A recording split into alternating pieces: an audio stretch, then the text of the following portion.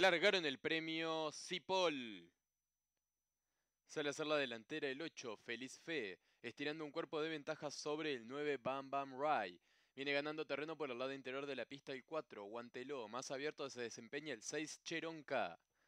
Frente a la señal indicativa de los 1200 metros, el 8, Feliz Fe marcando el camino, con un cuerpo de ventaja sobre el 9, Bam Bam Rai. La tercera colocación ha abierto el 6, Cheronca. Cerca por dentro se viene desempeñando el 4, Guanteló. La quinta colocación para el 3, Trisco. Viene cerrando la marcha el 1, Bear Whistle.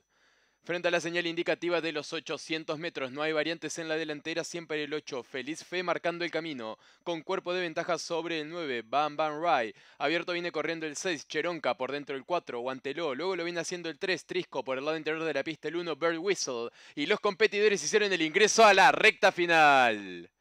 550 metros para el disco y por el centro de la pista domina la prueba el 9 Bam Bam Rai. Estira ventaja sobre el 8 Feliz Fe. Más abierto se viene desempeñando el 6 Cheronca y desde el fondo carga el 3 Trisco. Más abierto hace lo propio el 1 Bear Whistle.